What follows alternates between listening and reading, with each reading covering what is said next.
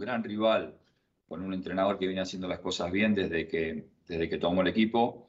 Eh, depende de nosotros que hagamos un gran partido para, para que las cosas nos, salgan bien. Ricardo Canales, TNT Sports. Hola Cristian, ¿cómo está? Buen día.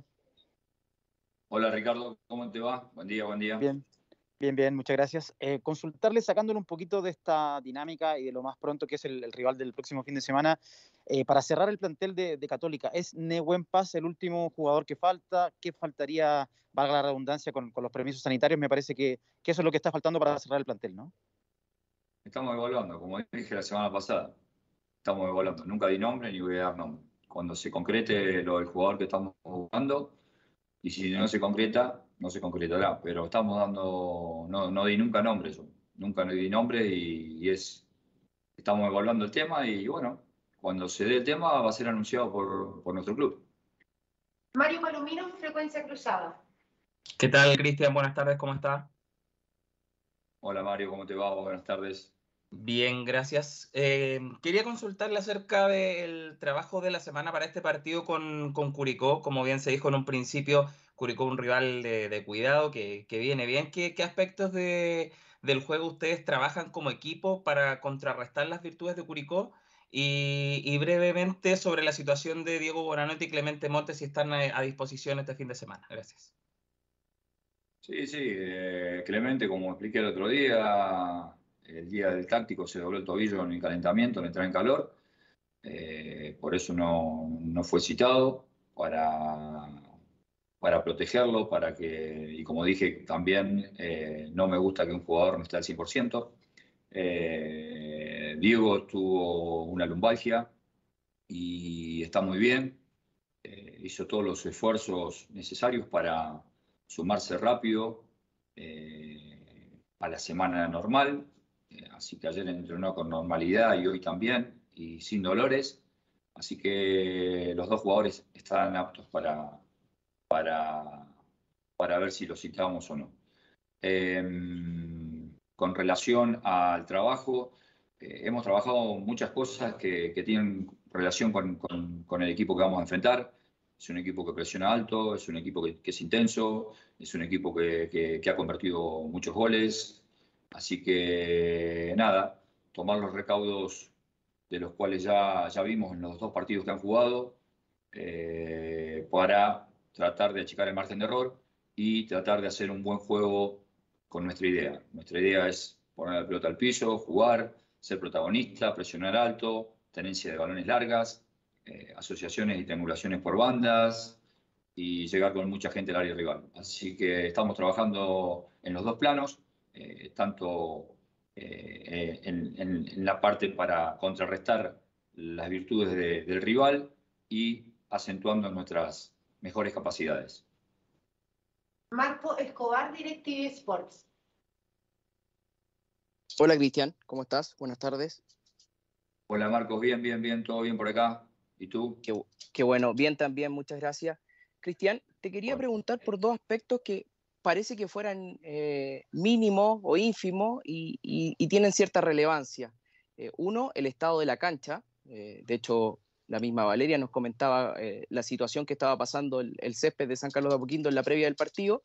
Y lo otro, el balón, este balón nuevo. Si esos dos aspectos nos puedes dar alguna reflexión respecto a cómo los trabaja desde el tema del, estado del terreno de juego y el balón, cómo ha sido la adaptación de tus jugadores para este nuevo balón que entiendo que eh, en algunos equipos han habido ciertas críticas a, cómo es el balón, cómo, cómo, funciona el terreno de juego. Gracias. Sí, a ver, a mí no me gusta hablar de esos temas porque es poner excusas y yo nunca pongo excusas. Eh, así que nada, no, me voy a referir a eso. Sinceramente, no, no, no, no le doy importancia a esas cosas. Eh, cambio de balones hay continuamente y si uno se empieza a poner eh, quejoso de, todas esas pequeñas cosas termina siendo nocivo y negativo y es lo que no me gusta a mí. Así que nada, eso no, le doy importancia a lo del balón. Por supuesto que hay un tema de adaptación y he escuchado quejas por ahí eh, en otros clubes y, también apenas llegó el balón acá. Pero no, no, no, no le damos, no le damos demasiada importancia a esas cosas.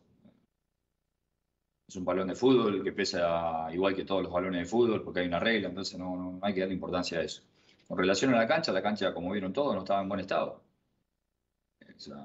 Hace falta que lo diga el entrenador, ustedes lo, vieron, no estaba en buen estado y cuando no está en buen estado no favorece nuestro fútbol y eh, necesita el futbolista un tiempo más para controlar bien, un tiempo más para pasarla y bueno, hace que el, juego no fluya como uno quiere.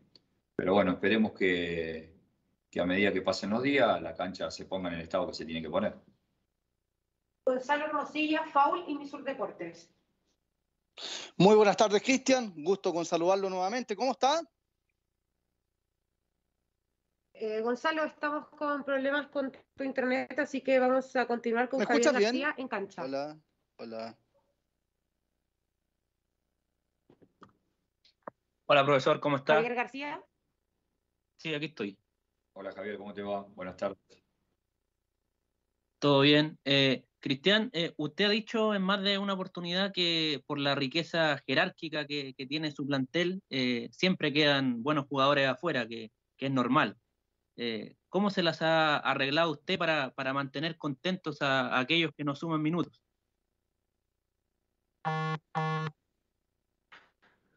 Iremos con la pregunta de Nicolás Muñoz, Radio Agricultura.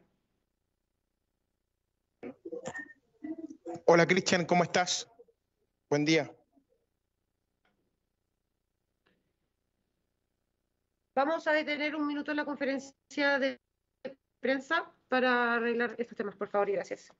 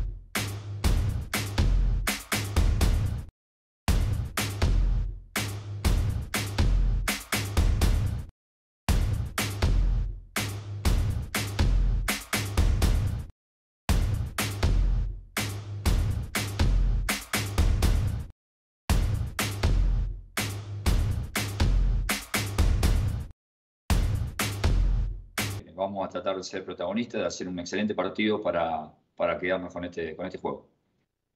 Javier García en cancha. Hola, profesor, ¿cómo está? Hola, Javier, ¿cómo te va? Buenas tardes. Todo bien. Eh, quería preguntarle, eh, usted ha dicho en más de, una oportunidad que, tiene un plantel que es rico jerárquicamente eh, y siempre van a quedar buenos jugadores afuera por, una cuestión matemática, ¿no? No, pueden ir todos citados. ¿Cómo se las arregla usted para, para mantener contentos a aquellos que, que no suman minutos? Sí, ese es el, el, aspecto interesante de, que tiene que tener un entrenador. Por supuesto que los que van al banco eh, siempre quieren jugar de titular y los que están afuera de la nómina quieren por lo menos tener la posibilidad de ir al banco. Eso sucede en la vida y sucede en el fútbol y sucede en todos lados. Eh, el gran secreto de todo esto es que los entrenadores por ahí tenemos que tener las virtudes las armas y las capacidades para mantener contento a, todos los, futbolistas y mucho más contento a los que no son citados y, no, y los que van a la banca que los que juegan de titular. Porque los que juegan de titular se motivan solo. Ponerse una camiseta con el escudo que, al cual nosotros representamos es un orgullo y, es un motivo de motivación. Así que no, no hay que darles tantas herramientas a los 11 titulares, sino a los a los que van a la banca y a los que quedan afuera, como bien dijiste vos. Pero eso va a suceder siempre, sucede siempre en todas las instituciones grandes, en donde tienen dos o tres jugadores por, por puestos. Así que nada, eh, nosotros estamos muy enfocados en eso. Por supuesto que hay gente que, que se enoja, pero las rabias se las sacan enseguida porque trabajan muy bien. Eh, el grupo que vino el domingo pasado a la mañana a trabajar trabajó excelente, excelente. Nosotros estábamos acá todo el cuerpo técnico. Así que nada, es un grupo competitivo, un grupo que no baja los brazos, un grupo que quiere demostrar estar siempre. Y bueno, ese mismo grupo que tuve el domingo acá, más algunos jugadores que tuvieron en la banca, hicieron amistoso el día martes, eh, como todos saben, versus Santiago Morning. Y bueno, así le vamos a ir dando minutos para que no queden retrasados los que no juegan menos eh, y tratar de llegar a las instancias ya por Copa en donde vamos a necesitar un poco de rotación, eh, de la mejor manera y con minutos de fútbol la gente que no compite los, los fines de semana. Nicolás Muñoz, Radio Agricultura. Hola Cristian, ¿cómo estás? Buen día. Bien, bien, Nico, bien, buen día. Buen día, ¿cómo te va? Bien, muchas gracias. Cristian, ayer escuchaba una entrevista a, a Fernando Sampedri, y señalaba que en el último partido Luciano Huet se acercó al camarín a, conversar, a dar una charla de, motivación y que algunos habían sentido sorprendidos por aquella situación. Eh, ¿A qué voy con esto? Eh, ¿Cuál es la valoración que realizas tú de, Luciano Huet estando no en cancha y lo que significa lo que trasciende para este plantel? Eh, a mí no me sorprende para nada, no sé quién, se habrá sorprendido, pero bueno, nada, Luciano es un jugador importante, como lo dije siempre, es un, líder que tiene este equipo eh, futbolístico y, fuera del campo, eh, en el camarín, es un líder conductor. Así que nada, Luciano siempre hace juegue o no juegue, o, ha estado en el banco en algunos partidos, y recuerdo que ha actuado en el camarín de la misma manera, hablando, eh, dando esa voz de aliento, eh, manteniendo alerta a todo el mundo, y eso está muy bueno, está muy bueno. Hay futbolistas que lideran desde esa perspectiva o de esa forma, y hay futbolistas un poco que lideran futbolísticamente, y hay otros futbolistas que lideran eh, no hablando tanto eh, por sus actos. Así que nada, tenemos un plantel muy eh, bueno en ese sentido, en, el sentido de la conducción, con, futbolistas que son ejemplos, con futbolistas que se cuidan, con futbolistas que, viven para, para, hacer su trabajo, con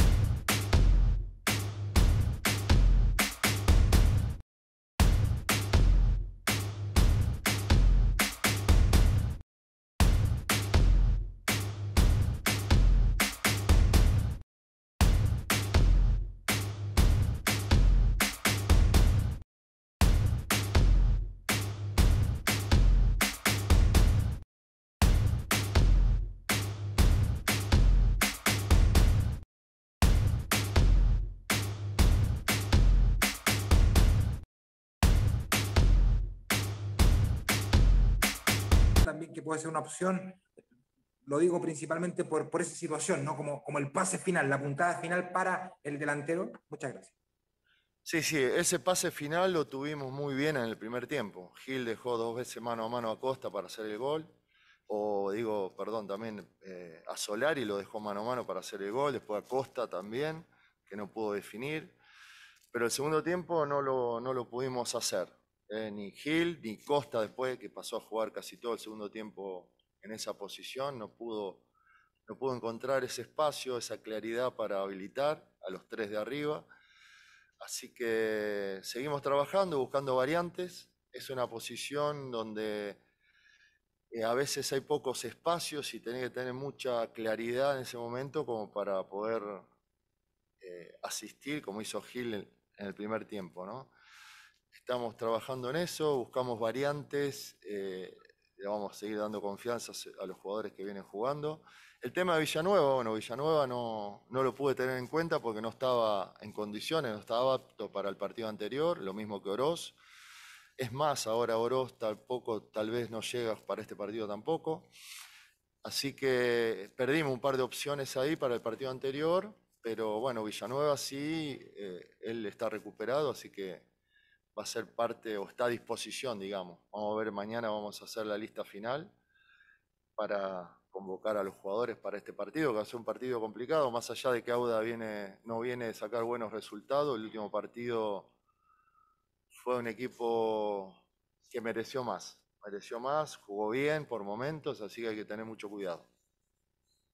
Vamos ahora con Inti Camilo, Sentimiento Popular.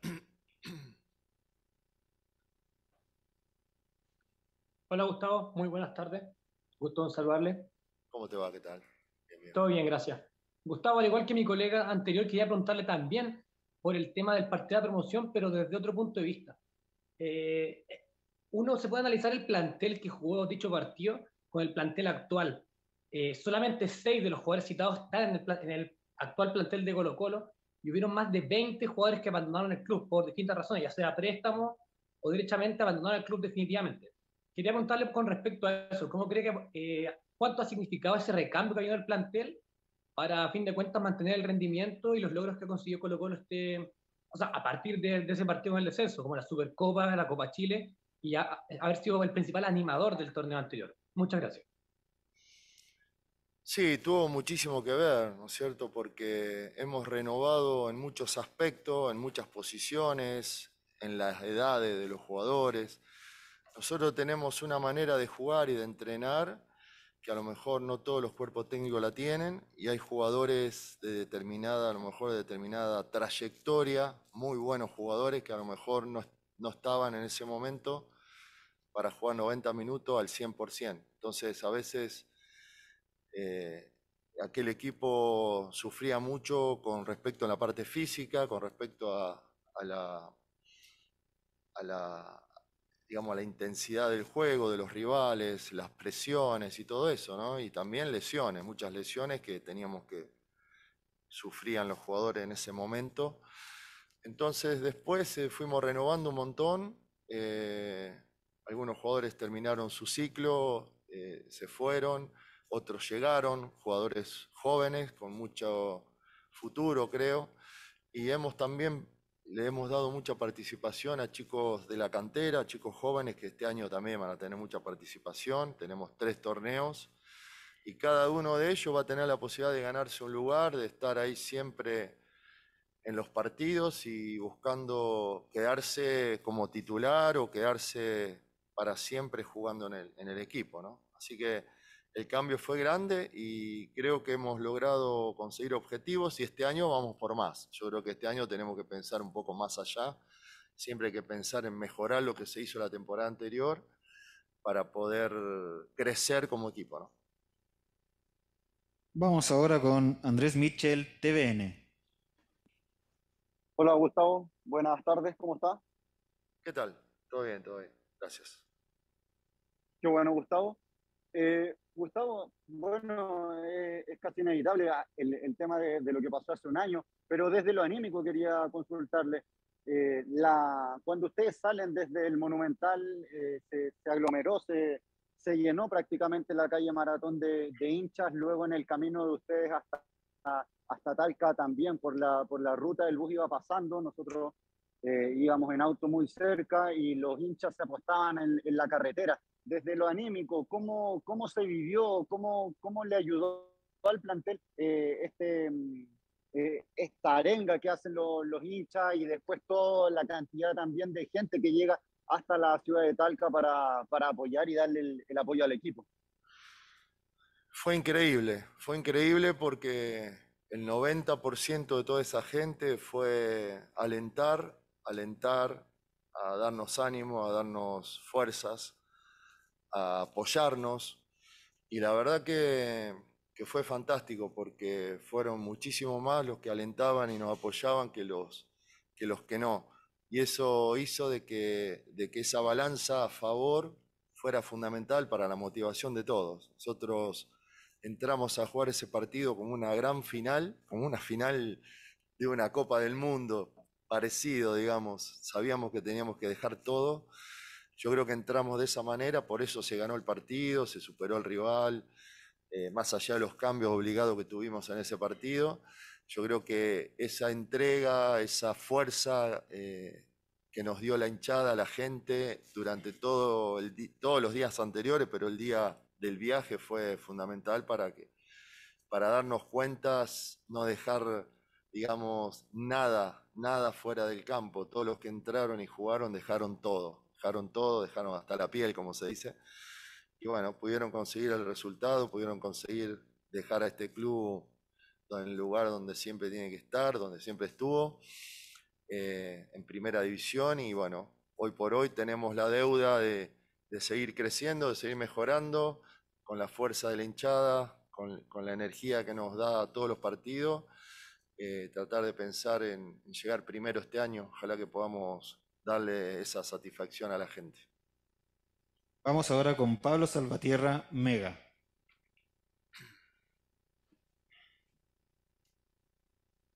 ¿Qué tal, Gustavo? ¿Cómo estás? Bien, bien, ¿qué tal? Un gusto. Qué bueno. Eh, Gustavo, preguntarle por eh, Colo Colo en condición de visita, teniendo en cuenta el torneo anterior y este, los últimos tres partidos, Colo Colo no ha podido sumar de a tres.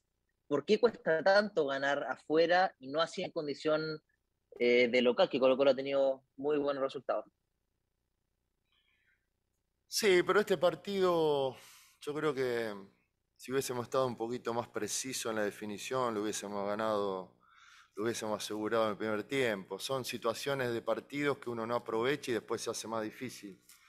Eh, nosotros tenemos que seguir jugando de la misma manera, mejorar todas esas situaciones que hemos hablado, de la terminación, en el pase, en el centro, la precisión, en la definición y demás, para, para seguir ganando. El año pasado ganamos mucho más puntos afuera que de local. Este año esperemos que hacernos mucho más fuerte de local y seguir manteniendo esa condición de, de, visita que fue fantástica. Ganamos muchísimos puntos de visitantes.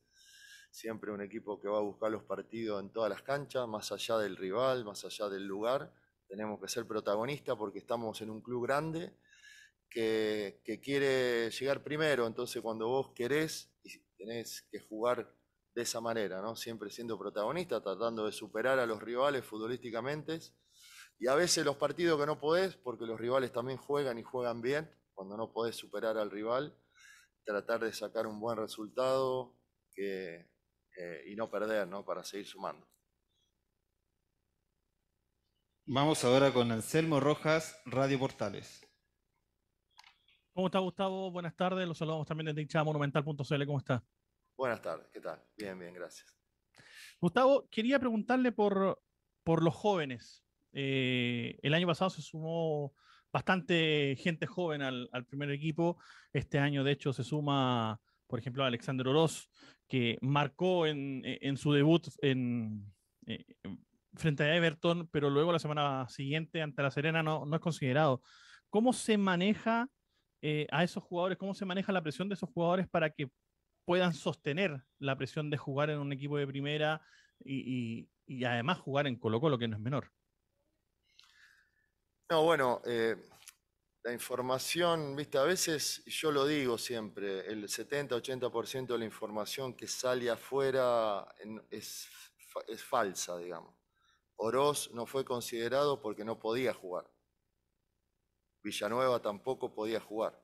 O sea, hay que aclararle a la gente porque por ahí se equivocan y dicen, este chico no fue considerado por la entrada. Él no podía jugar y no sé si va a poder jugar este fin de semana. No está apto para jugar todavía. Entonces, aclarando esto, eh, yo estoy muy contento porque cada vez que necesitamos jugar con juveniles, hemos ganado, hemos jugado bien, hemos jugado muchísimos partidos con juveniles y lo han hecho muy bien. Hay partidos que juegan mayores y también lo han hecho muy bien.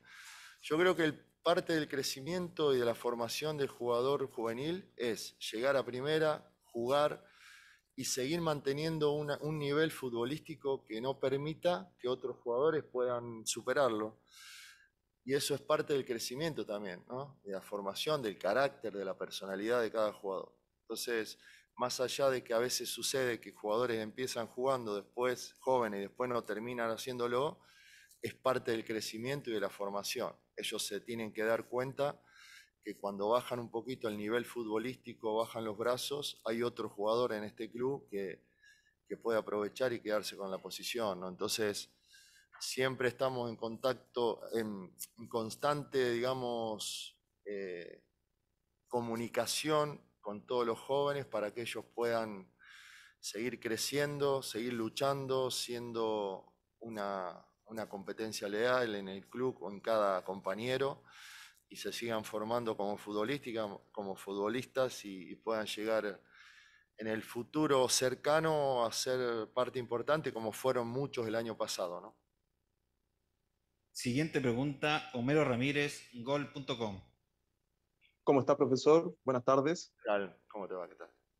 Bien, bien, bien. En ese proceso de adaptación que usted va hablando y de integración de los jóvenes, me gustaría saber cuál es el, el plan que usted tiene con el defensa uruguayo Saldivia, de 19 años, Alan Saldivia. Bueno, él, volvió al club la temporada anterior cuando estuvo, no pudimos analizarlo al 100%. Yo como entrenador no lo pude analizar al 100%.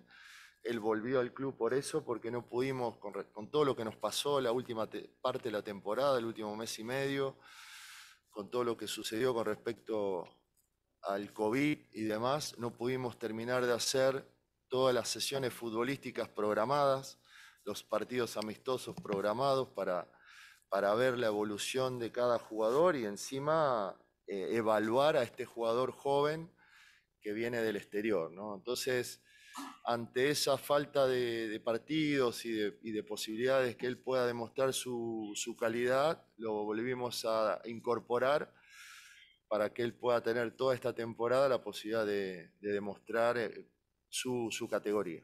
Y, después, a final de esta temporada, o a mediado de año, a final de esta temporada, el club va a decidir realmente el futuro de Alan Saldivia. Mm, vamos ahora con Patricio Chagüe, dale algo.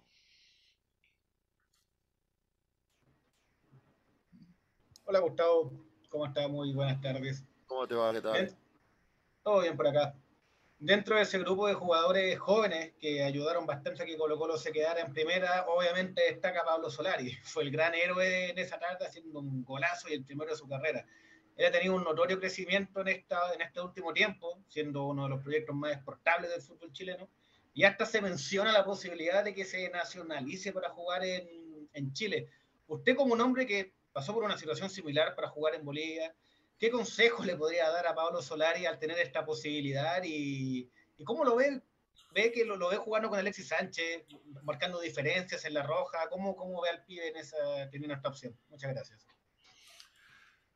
Bueno, mira, es un tema bastante delicado ese, ¿no? Porque él es un chico, un jugador argentino, joven, que vino que vino a Chile donde Colo Colo le brindó todo, le dio todo su apoyo, creció como futbolista muchísimo y hoy es uno de los jugadores más importantes que tenemos en el plantel, que siempre hace cosas importantes, a pesar de su corta edad, él fue el que hizo el gol en, la promoción, que hizo un montón de jugadas para hacernos ganar la Copa Chile, jugó muy bien la Supercopa de nuevo, eh, está jugando muy bien eh, o bien los partidos y va a seguir creciendo. Después, la decisión de, tomar una nacionalidad es una decisión muy propia, muy personal.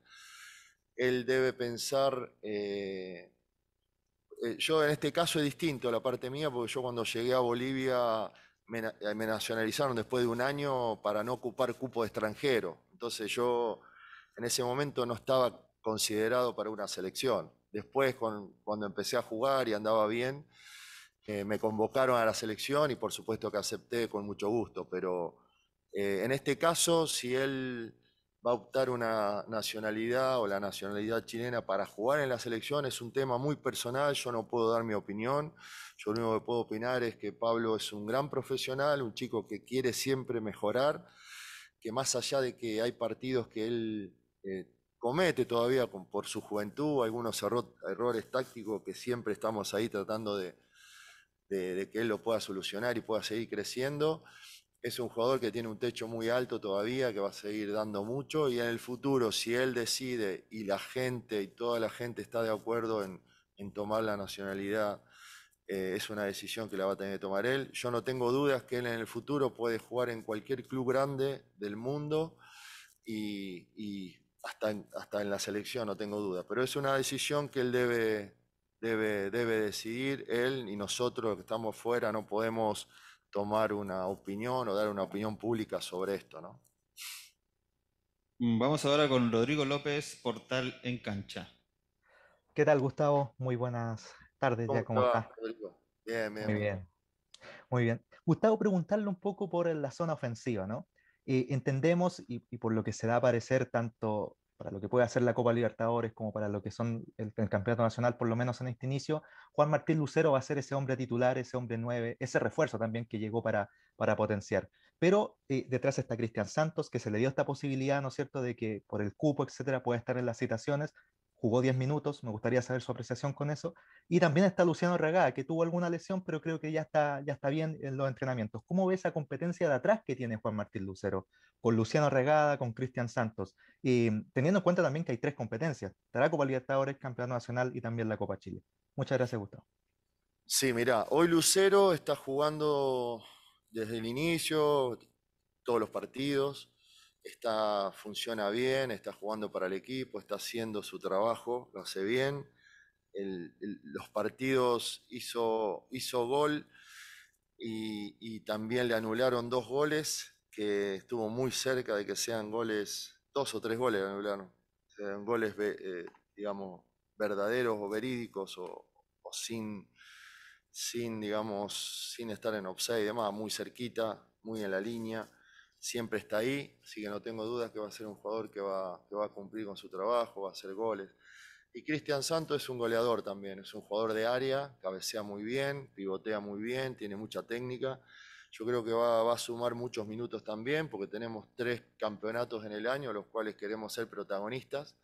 Sabemos que la Copa Libertadores es un poco más difícil, ¿no? porque tenemos que competir con grandes equipos, pero siempre hay que dar el máximo, uno nunca sabe qué puede suceder en esos partidos. En ese día tenemos que jugar al máximo de nuestro nivel y tanto Cristian como Arriagada, como Volado, que también lo puede hacer como delantero, eh, y el chico Pizarro que viene desde, desde las juveniles también, eh, pueden, son alternativas y van a tener minutos, no tengo duda, cuando se juegue Copa, Campeonato, Copa Chile, etcétera, etcétera. Así que estamos muy bien cubiertos en esa posición. Vamos ahora con Sebastián Marcel Volapí.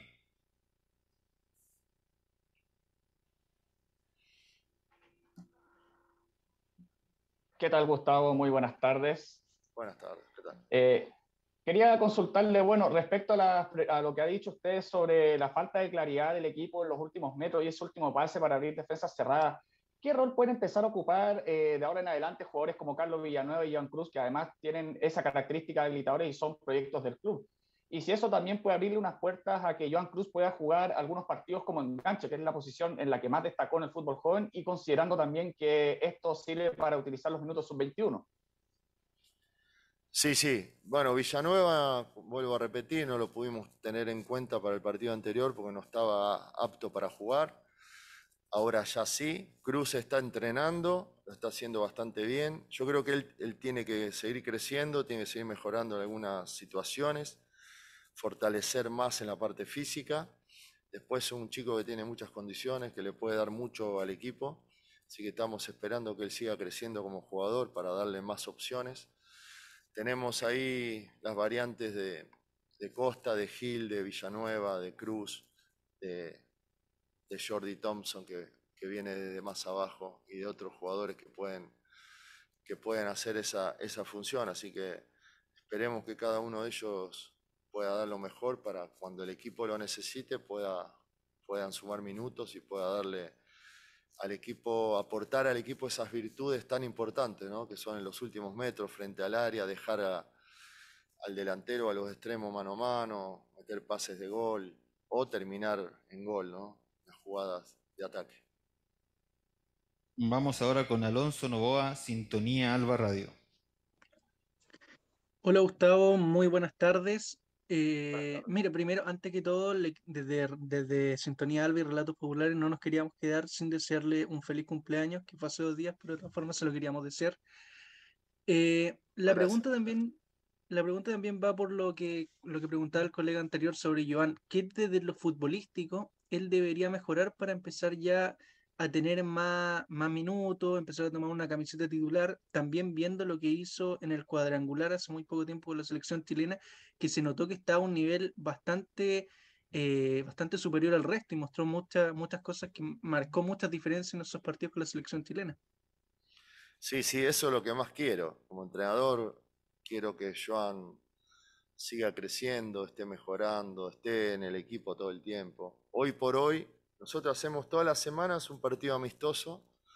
Hicimos esta semana, eh, ayer fue un partido amistoso eh, que hicimos acá en el estadio, jugó Joan, jugaron varios jugadores de los que- no venían jugando y siempre en estos partidos uno, cada jugador debe marcar una diferencia, debe hacer un trabajo que para que nosotros podamos tenerlo en cuenta y utilizarlo el día domingo en el partido o el día sábado en este caso, ¿no? Así que siempre esperamos que el jugador pueda crecer, pueda estar al mejor nivel. A veces los chicos juegan, están bien, a veces bajan el rendimiento y cuando bajan el rendimiento tienen que seguir esperando hasta volver a subirlo y volver a, su mejor nivel para poder estar convocado y ser importante como lo fue. Joan jugó varios partidos la temporada anterior, tuvo momentos, momentos no tantos, eh, así que esperamos siempre el rendimiento, el rendimiento de él sea el mejor, el óptimo para, para que pueda ser convocado. Vamos ahora con Pablo Bío, Sentimiento Albo. Buenas tardes, Gustavo, ¿cómo está? ¿Qué tal? Bien, bien. Todo bien. Qué bueno. En el encuentro ante Deportes La Serena, el equipo en el segundo tiempo tuvo 11 disparos, pero tan solo 3 fueron al arco contrario y un palo. ¿Qué debe hacer el plantel para mejorar en este aspecto ante Audax Italiano? Gracias. Sí, por eso te decía, nosotros como cuerpo técnico estamos tranquilos porque el, equipo genera situaciones, remata al arco, eh, llega a situación, aproximación para meter el centro, para meter pases, para hacer el gol. Y a veces no tenemos la precisión. O sea, rematamos o llegamos bastante, tuvimos muy pocas, pocos aciertos. Entonces eso hay que mejorarlo, hay que trabajar, como lo hacemos generalmente, tratar de, de- de trabajarlo en la semana para, para seguir mejorando y que el jugador agarre confianza y lo pueda hacer bien. Eh, lo más importante es generar esas opciones, tratar de tener más opciones de ataque que los rivales. Eso siempre nosotros lo hablamos con los jugadores, con el cuerpo técnico y tenemos que seguir siendo superiores en ese aspecto, pero tenemos que ser precisos para poder ganar los partidos, porque si uno llega, llega y termina en remate afuera o termina mal el centro o definimos mal, eh, va a ser difícil ganar los partidos. Entonces es algo que tenemos que seguir mejorando. Vamos con la última pregunta, Gonzalo Hermosilla, Misur Deportes. Muy buenas tardes, Gustavo. ¿Cómo está? Buenas, eh, le reitero las buenas tardes. Gusto con saludarlo, profesor. Buenas tardes, igual, un gusto. Un gusto también, profe. Eh, profesor, bueno, lo quiero llevar al partido de este día sábado, que es un partido también atractivo de esta tercera fecha, donde el equipo itálico necesita sumar de a tres, ya que no ha podido concretar una victoria en estos dos partidos. Eh, profesor, ¿cómo se enfrentará Colo Colo a un rival que necesita sumar, sabiendo que Colo Colo tiene la ventaja de que juega en su estadio, en el Monumental, este día sábado. ¿Cómo se va a parar? ¿Cómo se va a enfrentar a un cuadro que viene bien complicado como es el Audax italiano, profesor? Muy buenas tardes, Gustavo, y muchas gracias como siempre. Gracias, igualmente. Como dije antes a un colega tuyo, yo creo que el primer partido no, pero el segundo partido Audax jugó, muy, jugó bien, llegó más que el rival, no pudo ganar, falló en la definición, tuvo más situaciones de ataque que el rival también. Entonces hay que tener cuidado. Es un, un equipo que tiene jugadores que juegan bien, los interiores son buenos, llegan a situación de gol, el delantero también. Eh, tiene una organización defensiva que presionan bastante, así que es un rival difícil, duro, va a ser complicado. Si nosotros no estamos precisos, si no podemos corregir esas imprecisiones, si no estamos claros en los últimos metros y atentos y no jugamos a nuestro mejor nivel, va a ser un partido difícil. Entonces, respetamos mucho a Audax y vamos a enfrentar un, un equipo que más allá de que no sacó buenos resultados en los dos primeros partidos, eh, no jugó mal, no jugó mal, entonces hay que tener cuidado, porque a veces los partidos, los resultados no son acorde a lo que los, equipos muestran dentro del campo. ¿no? A veces no merece ganar eh, eh, un equipo que, que, no llegó tanto y a veces no merece perder, como le pasó a un equipo que, que llegó más y que jugó bien el partido anterior. De esta forma damos por finalizada esta conferencia de prensa. Le agradecemos a todos nuestros hinchas que se conectaron a través de las redes sociales del club para ver nuestra transmisión. Muchas gracias, colegas. Muchas gracias, profesor. Gracias. Hasta siempre.